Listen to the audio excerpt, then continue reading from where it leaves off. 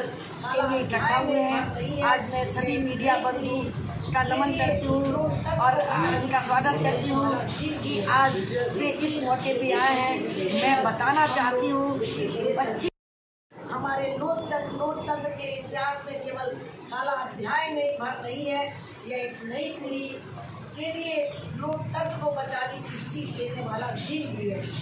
इस दिन, इस चीज़ से लेकर हम लोग सीख ले सकते हैं।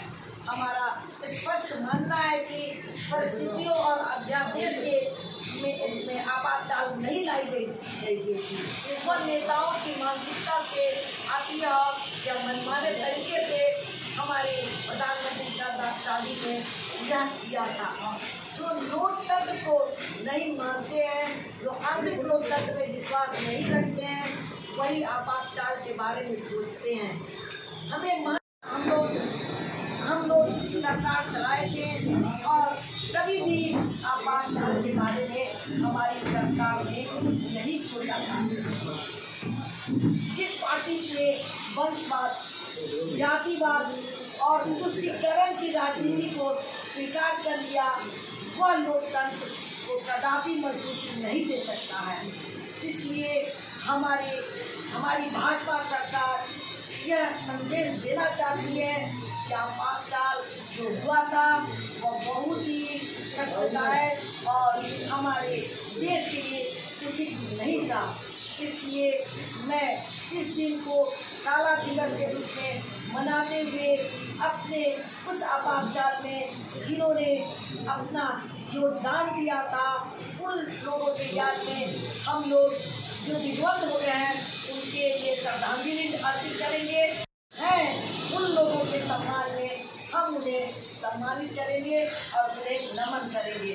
मैं आप सभी मीडिया बंधुओं से यह आग्रह करती हूँ, निवेदन करती हूँ आप लोग कल शाम चार बजे मनोरमा इंटरनेशनल में आके जो सत्संग के पास है, हम लोगों के इस काम का हम लोग यहाँ प्रेस कॉन्फ्रेंस कर के लिए इकट्ठा हुए हैं। आज मैं सभी मीडिया बंधु का नमन करती हूँ और उनका स्वागत करती हूँ कि आज वे इस मौके पे आए हैं।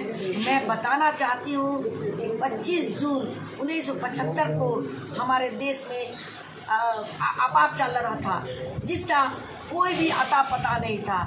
हमारी इंदिरा गांधी प्रधानमंत्री ने रातों रात हमारे राष्ट्रपति फखरुद्दीन अली अहमद से मिलकर यह आदेश जारी किया और 26 जून को यह आदेश निर्गत हुआ और हमारे जितने भी विरोधी थे, उन्हें जेल में डाला गया था, जिसका कोई आधार नहीं था, बिना कोई कोई बातें किए, कोई चीज़ लिए हुए, उन्होंने यह प्रेस, यह आदेश जारी किया।